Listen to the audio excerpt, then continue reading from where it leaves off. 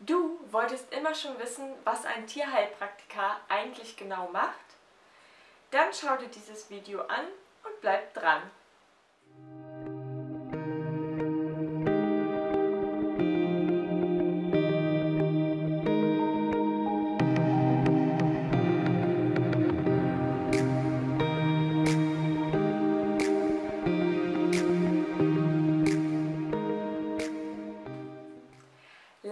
Bevor es den Beruf des Tierarztes überhaupt gab, wurde Tieren schon mit Naturheilkunde geholfen. Die Therapie wird individuell auf jedes einzelne Tier abgestimmt. Deshalb ist es bei einem Tierheilpraktiker üblich, dass er nicht nur einzelne Symptome und Beschwerden behandelt, sondern sich auf die Suche macht nach der Ursache. Im Beruf des Tierheilpraktikers wird immer auf das ganze Tier geschaut.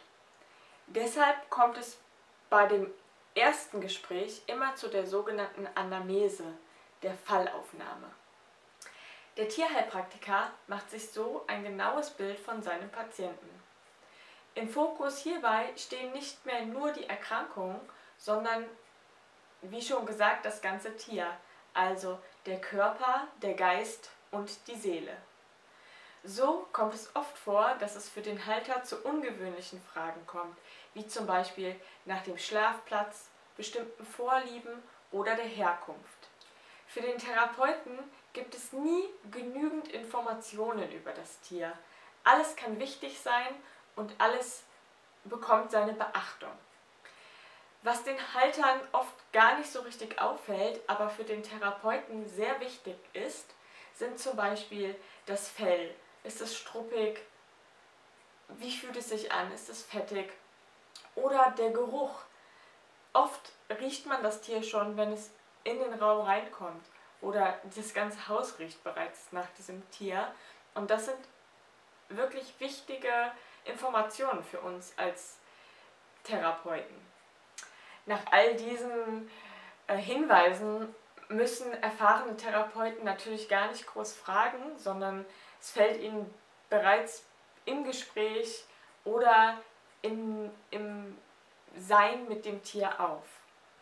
In der Behandlung bei den Tieren werden naturheilkundliche Mittel eingesetzt, wie zum Beispiel in meinem Fall die Homöopathie, die Bachblütentherapie, die Therapie mit Schüsslersalzen oder die Aromatherapie. Um Körper und Geist in Einklang zu bringen, haben sich außerdem bei mir die Tierkommunikation und die Heilarbeit mit Tieren bewährt. Oft spezialisiert sich der Tierheilpraktiker auf eine Richtung, mit der er persönlich gute Erfahrungen gemacht hat oder die ihm bereits bekannt sind. Wie in jedem Beruf gilt auch in dem Beruf als Tierheilpraktiker oder als Tierheilpraktikerin das Sprichwort Klasse statt Masse. Der Beruf des Tierheilpraktikers ist leider kein geschützter Beruf. Das heißt, theoretisch kann sich jeder Tierheilpraktiker nennen. Wer dennoch sicher sein möchte, dass sein Tierheilpraktiker eine zertifizierte Ausbildung hat, schaut am besten in den verschiedenen Verbänden. Ich bin zum Beispiel in dem Verband Deutscher Tierheilpraktiker. Viele meiner Kollegen und ich setzen deshalb auch auf die Prävention. Wir schauen im Vorhinein, was können wir Gutes tun, um dem Tier möglichst lange, um das Tier möglichst lange gesund zu erhalten. Denn es ist so wichtig, dass Körper, Geist und Seele im Einklang funktionieren. Wenn euch das Video gefallen hat, lasst mir gerne einen Daumen nach oben da. Wenn ihr Fragen habt oder Anregungen, kommentiert gerne.